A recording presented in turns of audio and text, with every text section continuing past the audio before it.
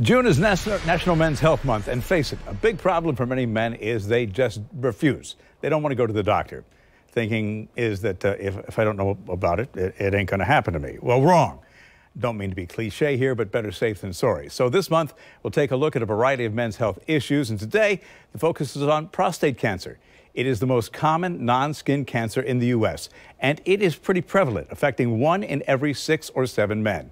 Joining me on the morning show, Dr. Ali Kasraeian, a fellowship-trained urologist with Kasraeian Urology here in Jacksonville. Good morning. Morning. So there had been uh, an advisory that came out, maybe we shouldn't have as active surveillance, but then something happened.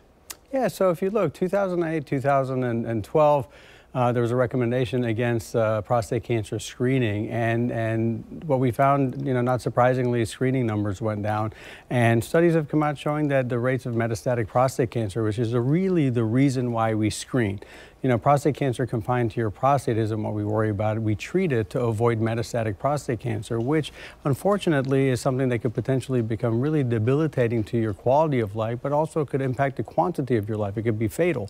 Um, so that opens the, the conversation again of the importance of talking to your doctor about screening for prostate cancer, which involves a, a simple lab test called the PSA test and also a rectal exam. Yeah, and there are rarely if any, early warning signs. But there are some signs that do pop up occasionally that let you know, uh-oh, maybe I should get this checked out. You know, the, the, the, things to think about, most men are going to have difficulties with urination. Uh, to, to be mindful, those are usually related to difficulties with urination due to BPH, a benign enlargement of the prostate. However, take it as an opportunity, whether it's you or whether it's someone you love experiencing those diseases, go talk to your doctor. Getting a PSA is a simple test that can, that can highlight something that at its very, very beginning stages where prostate cancer confined to the prostate is very, very treatable and now we have a lot of, lot of very, very effective ways of treating it that are, are uh, preserving of quality of life, but also very curative, approaching 95 to 100% cures. And one of those treatments is actually active surveillance. Active surveillance. Not all prostate cancer that's diagnosed needs to be treated. About 40 to 50% of the prostate cancers we diagnose are very low volume, very low risk, and you can monitor it with frequent PSA checks, rectal exams, and repeat biopsies. So we, we monitor the progression of the disease, which is very slow in those cases, and it's not a fatal disease, so you can treat it more of a chronic disease. So the impact on the quality of your life is minimal, but we avoid missing those cancers that could change and cause you to pass away from the disease. So it used to be you can do a prostatectomy where you remove the prostate, but now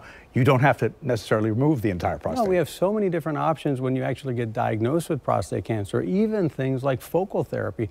Now we do smarter biopsy uh, uh, pathways, which include MRI scans, uh, that if we find a targetable lesion, we could do a fusion biopsy, is called, where we take the MRI and the ultrasound, merge the images together and target that area. If that's the only area that you have cancer, we could do focal therapy, where we just treat the portion of the prostate that has the cancer, leave the unaffected tissue alone, so the more prostate you preserve, the more function you preserve. So thereby, you take care of the cancer, but you also take care of the quality of life issues that most people uh, use as potentially an excuse in their mind to avoid screening in the first place. And they recently did a clinical study, and they found a fairly good option for treating it, and it's got a pretty good outcome over five years. So if you look, there are a number of different options to think about. One, uh, you have active surveillance. Two, the prostatectomy is, is, is better in terms of the preservation of quality of life with a robotic technology. Uh, the focal therapy options, we have high intensity focused ultrasound. Uh, there are a number of different options that are, that are focally op available that are, are good, good options in terms of the balance of cure and the side effect profile. And then radiation therapy options are now more precise. The, the study you're alluding to even talked about if men who undergo uh, prostatectomy and have recurrences now can get a very, very focal uh, radiation therapy to not only the bed of where the prostate was, was removed, but also include the radiation bed uh, to include the pelvis and, and, and uh, again, hormone blockade therapies. And those men got up to 90% cure rates up to five years. So it's this idea of looking at the totality of care of the prostate cancer from the beginning to the end of disease. Um, when we talk about that, even advanced prostate cancer that's gone beyond the prostate. Now we look at, uh, it's not just the idea of we give a medicine uh, blocking testosterone levels, we can target lesions, we have better imaging studies that look for targetable lesions, so, and we have better medications that are even pills that we can take. So the whole pathway has changed to be more precise, more accurate, more targeted, but it all starts with screening, so we don't even have to get to those conversations. So the bottom line is catch it early, better clinical outcomes. And when you think about prostate cancer, it's not the outcome that it used to be. So, guys, go to the doctor.